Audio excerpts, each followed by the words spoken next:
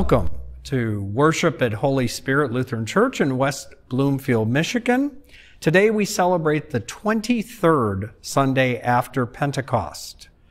We begin with our litany of confession and assurance. Ten lamps gathered with oil enough for all. Ten lamps gathered. But five are showing careless disregard. Ten lamps gather. Five blaze with oil abundant enough to share. Ten lamps gather. Five lifeless, lifeless when laziness and greed collide. Ten lamps gather. How many will burn tonight? Creator God, giver of oil, hear us as we pray for generous hearts to share oil with our neighbors. Creator God, giver of oil, hear us as we pray. For the vision necessary to leave our comfortable seats in search of oil. Creator God, giver of oil, hear us when we pray. For forgiveness, for the ways our selfishness and our apathy collide ten lamps gather with oil enough for all. Come, children of God, into a sacred circle where sharing creates abundance and no one leaves hungry. Amen. Please join in singing of our very first hymn, O God, our help in ages past.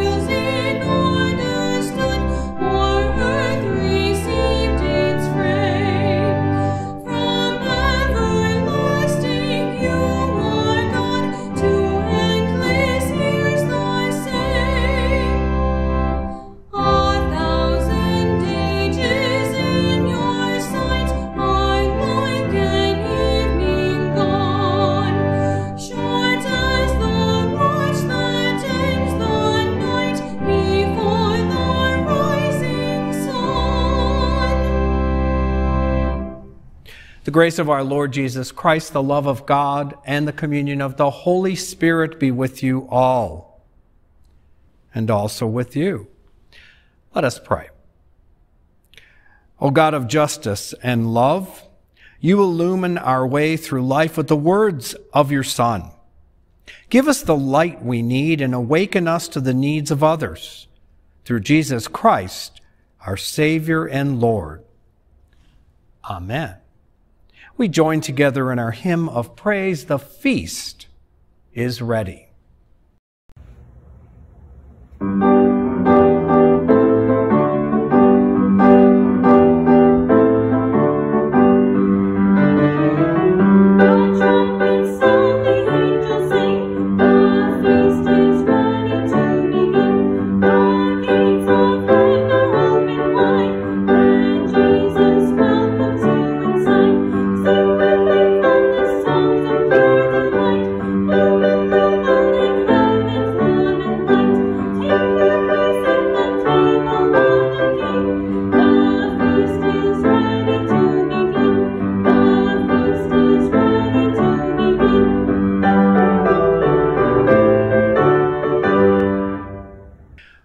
First reading for this day is from Amos chapter 5.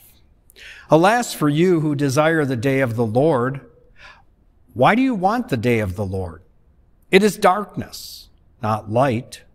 As if someone fled from a lion and was met by a bear, or went into the house and rested a hand against the wall and it was bitten by a snake. Is not the day of the Lord darkness, not light, and gloom with no brightness in it? I hate, I despise your festivals. I take no delight in your solemn assemblies. Even though you offer me your burnt offerings and grained offerings, I will not accept them. And the offerings of well-being of your fatted animals I will not look upon. Take away from me the noise of your songs. I will not listen to the melody of your harps, but let justice roll down like waters and righteousness like an ever flowing stream. Word of God, word of life. Thanks be to God. Our gospel acclamation is what a mighty word God gives.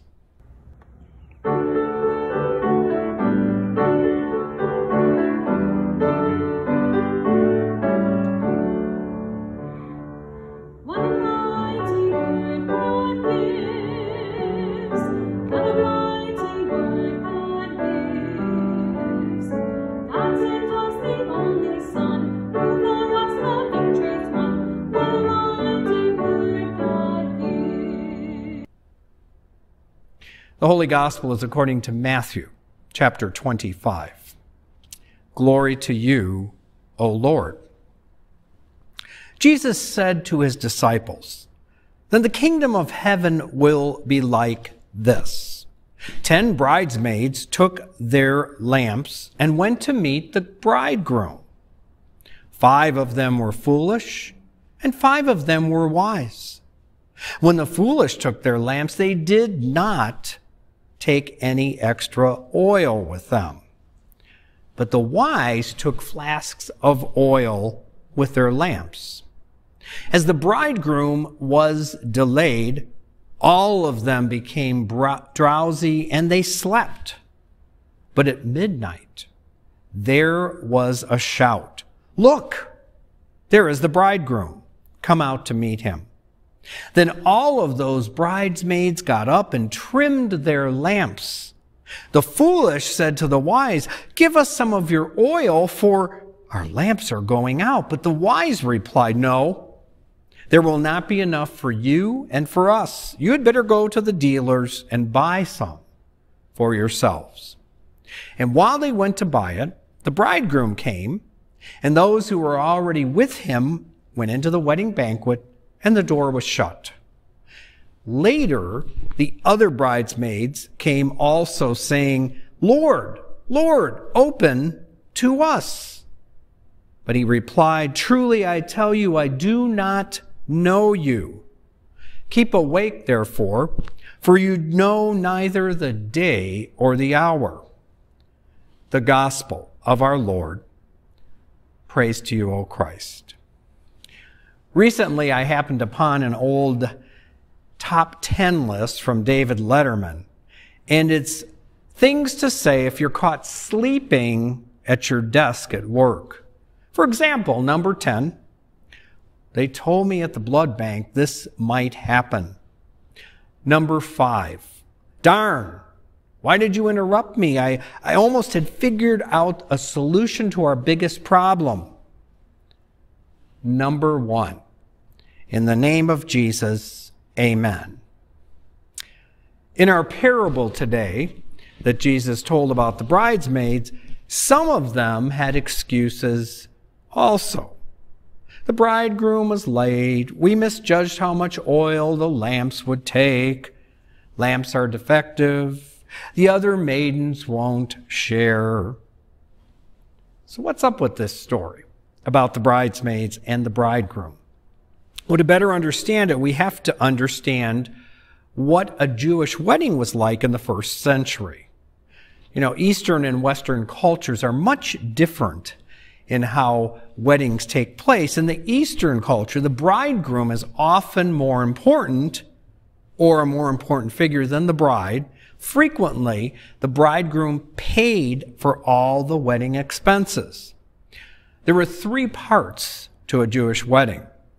First was the formal engagement, which was almost always arranged by the parents of the bride and the groom. Second, later, up to a year or more, there was the official religious ceremony at the bride's home. And finally, the third, the wedding banquet, generally at night at the house of the groom. It lasted seven days and could take place right after the ceremony or weeks later. The female friends of the bride, at least 10 of them, would wait outside her house for the coming of the bridegroom, and the bridegroom would come from his house, take the bride back from her house to his. Now, this involved great festivity, and they walked through the streets, often taking the long way so that everyone could bless them. These bridesmaids were very important. They waited outside the house even at night, for that's when the groom normally arrived. So they'd often use torches so they could tell the bride that the groom had arrived and then escort them through the streets with these lighted torches. And they went back to the groom's house and inside where they'd be locked away for the joyous celebration. Now, often someone would go before the groom and announce he was on his way, but even then it could be a while. So the women had to be ready, prepared.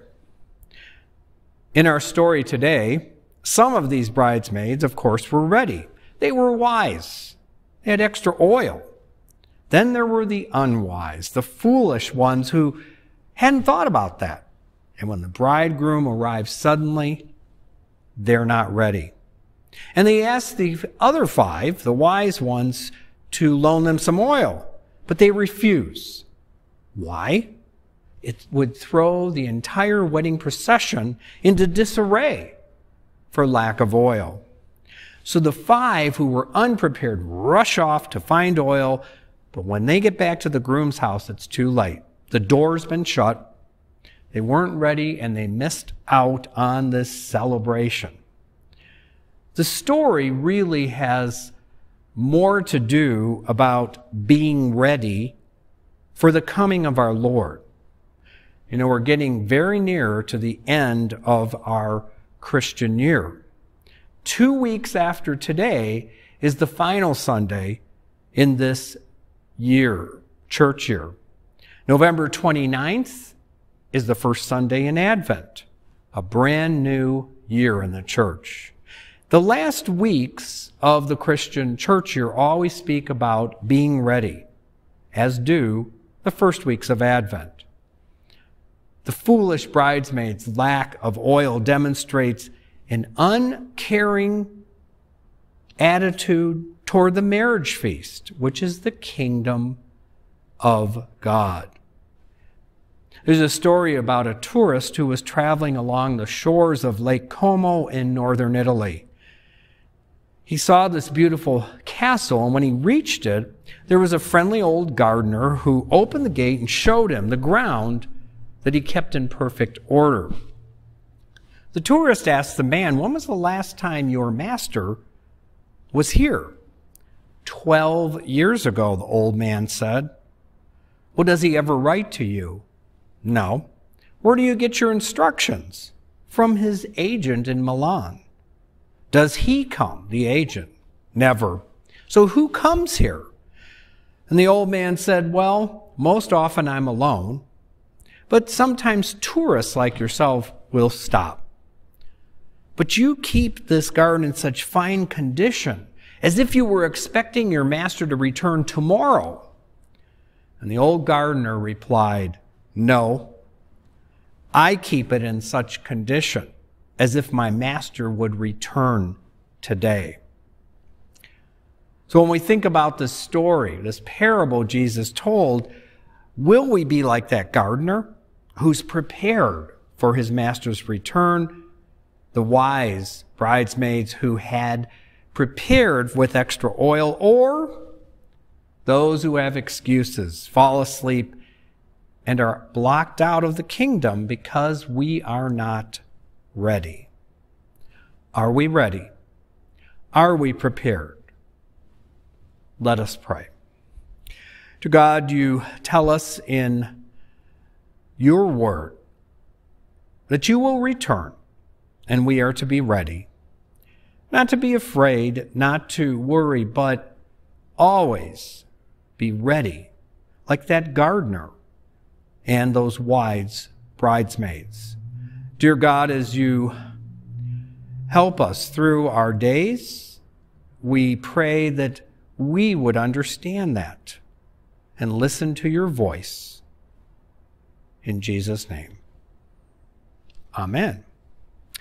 Please join me in our hymn of the day, Rejoice, Rejoice, Believers.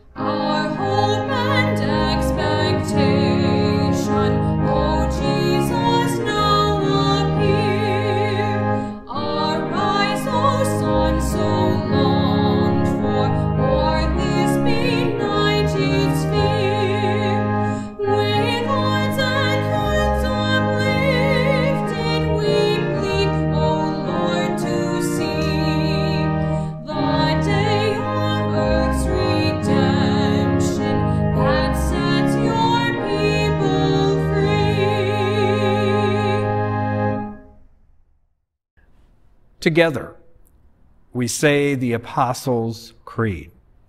I believe in God the Father Almighty, creator of heaven and earth.